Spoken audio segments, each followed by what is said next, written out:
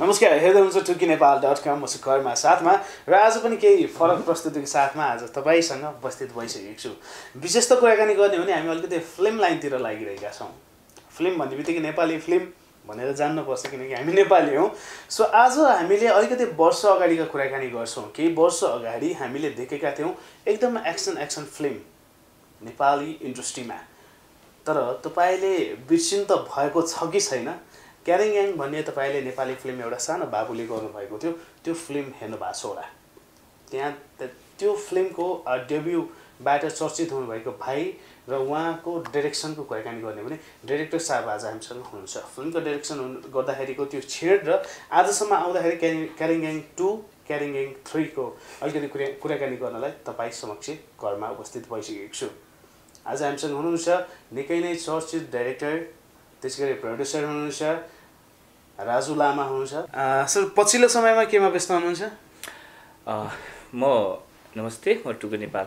धन्यवाद दिन्छु हजुर टिमलाई अ, अहिले चाहिँ खास म बिजी चाहिँ मेरो आफ्नै छोरीको गाना रिलिज भइरहेको छ। साथसाथै उसको वैशाख उन्तिस गते चाहिँ राष्ट्रिय नाचक जमला हामीले कार्यक्रम गरिरहेको छौँ।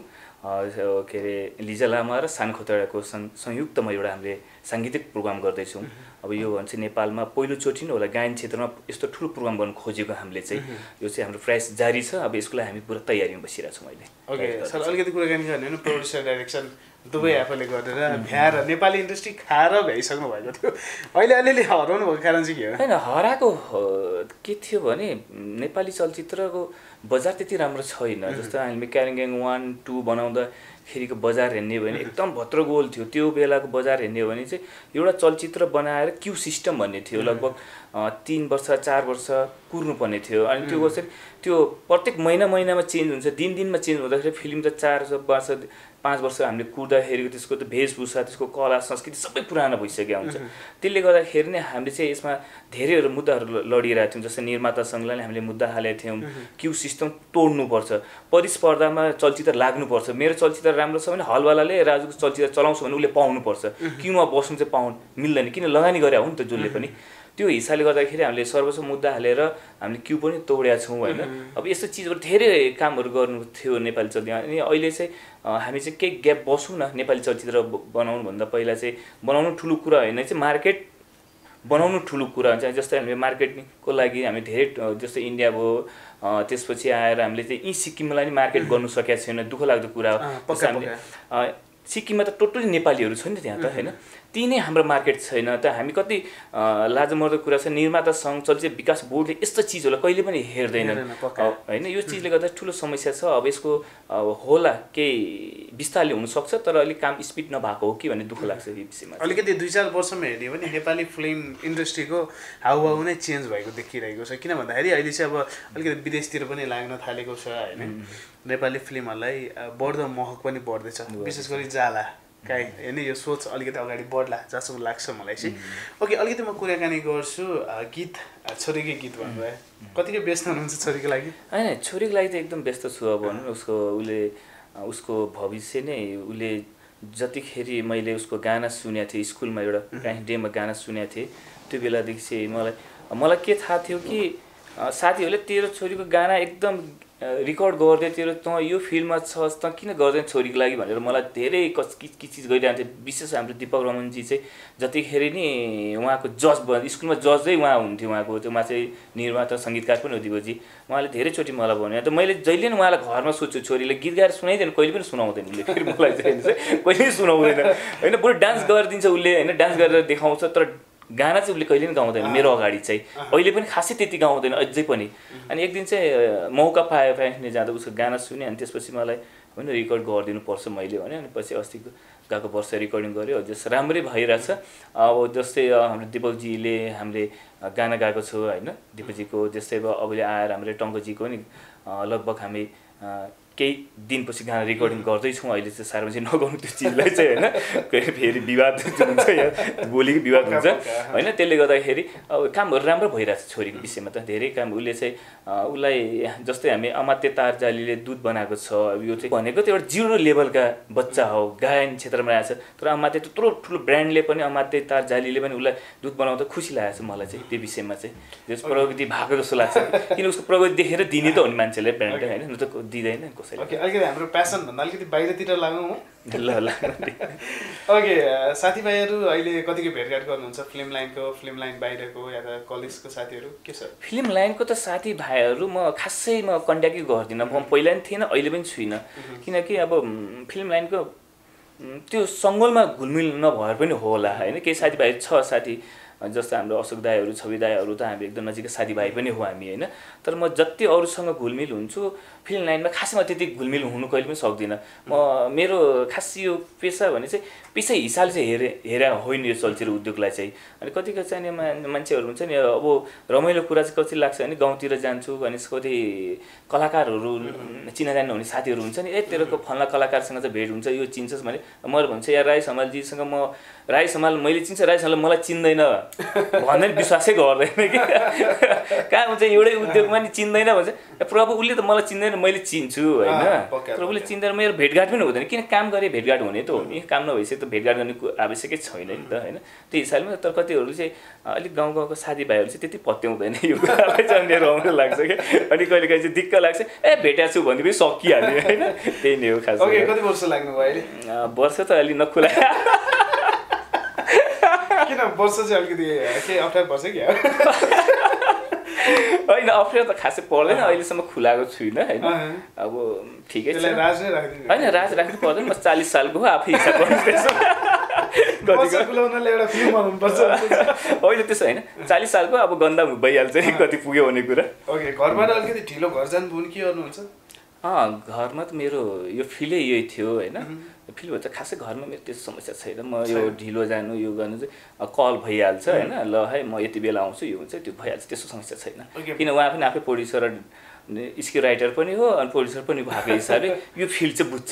नबुझ्ने भए चाहिँ समस्या हुन्छ होइन। अनि उता उता कहिले मिटिङ कहिले मभन्दा व्यस्त उहाँ नि हुन्छ झन्। होइन कहिले कहीँ जस्तो चलचित्र क्षेत्रमा मेरो पहिला नि लागि परिरहेको हुन्छ। मभन्दा अझ बिजी रिलिजको बेला चाहिँ उहाँ लागि परिरहेको हुन्छ किन? म त्यति लागि लागि पर्दैन। अब म जस्तो हलवालासँग सबै सम्बन्ध उहाँहरू अझै नजिक भएको हिसाबले गर्दा अनि ल ठिकै छ उहाँहरूले नि गरिरहेको हुन्छ। छोराछोरी अनि भाउजू। चारजना। है? छोरी। महापत्नी। ओके चारजनाको एकदम सुखी परिवार बसिरहनु भएको छ होइन। जस्तो कि कहिले काहीँ भाउजू तपाईँको कुनै पनि कारणले रिसाउनु भयो भने चाहिँ कसरी फकाउनुहुन्छ तपाईँ? फकाउनु त मैले नै फकाउनु पर्ने हो। त्यो त्यो कस्तो रिसाइसकेपछि उसै पऱ्यो भने आफूले बोलेन दुई तिन दिन पनि बोल्दैन होइन? फकाउनु चाहिँ आफैले पर्छ त्यो चाहिँ। फकाउने अब के गर्दा फक्छ त्यो चाहिँ ठ्याक्कै चाहिँ मलाई आउँदैन त्यो मुडमा भएपछि कुन कुन कुन मुडमा उसलाई कुन कुन तरिकाले फकाउनु पर्छ त्यही बेला थाहा हुन्छ अहिले ठ्याक्कै त्यस्तो चाहिँ यादै हुँदैन त्यो चाहिँ याद लभ म्यारेज चाहिँ मेरो? परिवार खड्का हो म चाहिँ लामा ओके कसले प्रपोज गर्नुभयो तपाईँले हो कि उहाँले हो मैले नै हो पहिलोचोटि कहाँ देख्दाखेरि लभ पऱ्यो तपाईँलाई नै पहिला हामी चाहिँ एउटा प्रोग्राम थियो एउटा एउटा साथीहरूले चाहिँ एउटा कार्यक्रम गरिरहेको छ उहाँहरूले त्यसमा चाहिँ म डाइरेक्सन गरेको गर्नु गएको थिएँ। उहाँले चाहिँ नाटकको डाइरेक्सन गरिरहेको छ अनि मेरो साथीले एकचोटि हेर्दैन है त्यहाँ गएर अब नयाँ नयाँ मान्छेले जान्दैन नि त।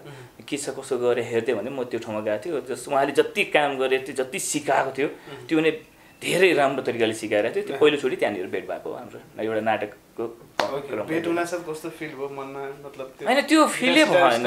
त्यो केही पनि भयो। मतलब केही पनि भएन होइन त्यो जस्तै अब पहिला गयो त्यो अब त्यो सोचेर गएको भए हुन्थ्यो होला होइन?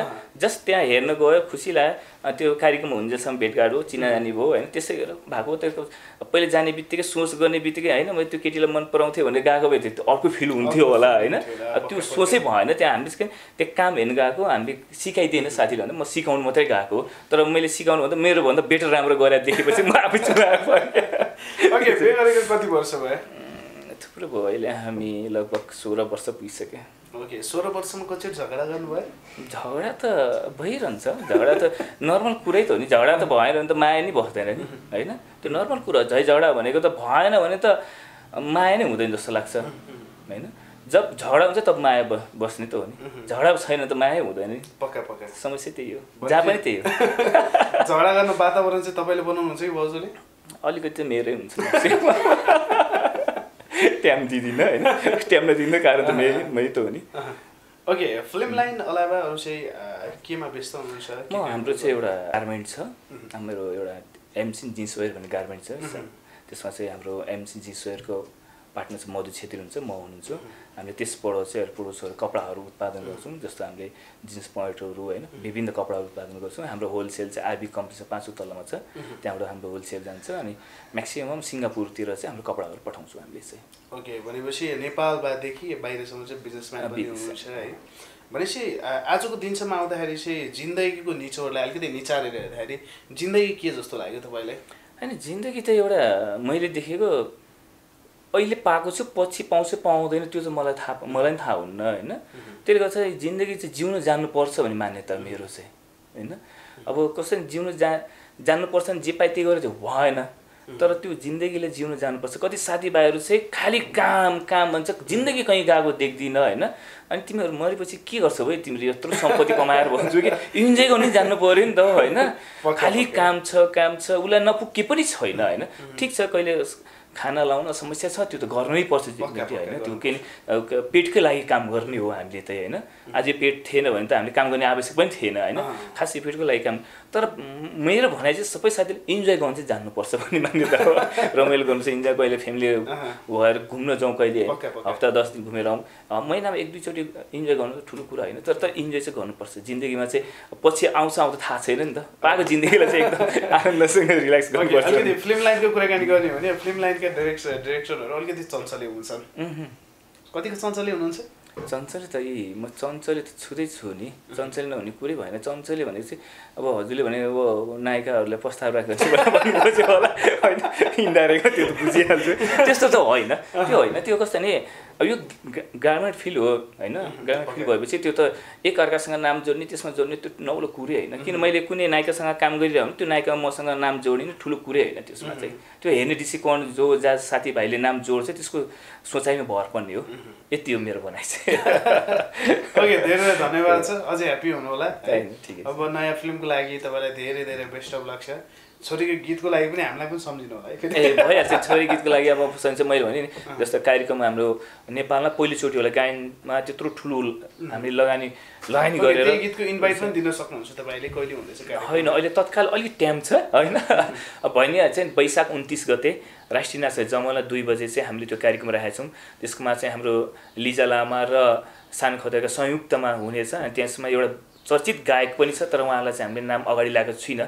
कि चाहिँ उहाँ चाहिँ अब यति भन्नु चाहिँ नेपाल आइडलको सिङ्गर हो उहाँ चाहिँ होइन? उहाँलाई हामीले राखेका छौँ उहाँलाई पनि राखेका छौँ तर हामी चाहिँ नाम लिँदा किनकि उहाँको चाहिँ हामीले नाम गोप्य राखेका छौँ त्यो कार्यक्रम दिन चाहिँ। किनकि लिजा लामा र अब सान खतिरा संयुक्त भएपछि उहाँले सपोर्ट गर्ने हो त्यो गायनमा किनकि उहाँलाई प्रचार गर्नु हामी त्यति आवश्यक ठान्दिनँ।